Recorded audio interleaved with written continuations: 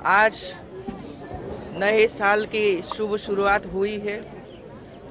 गुजरात की पूरी प्रजा आज नूतन वर्ष की शुभ कामनाएँ एक दूसरे को देती है और मैं परमात्मा को प्रार्थना करती हूँ कि गुजरात की जो छः करोड़ की प्रजा है, वो सुख समृद्धि में रहे और हमारे देश के बड़ा प्रधान नरेंद्र भाई मोदी ने जो हमें अपील की है कि गुजरात और देश को हम स्वच्छ रखें।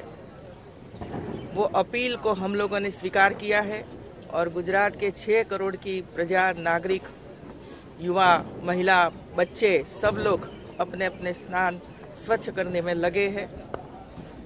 हम सब एक ही प्रयास करें, गुजरात और देश को स्वच्छ बनाएँ और स्वस्थ बनाएँ। जय जय गुजरात, जय जय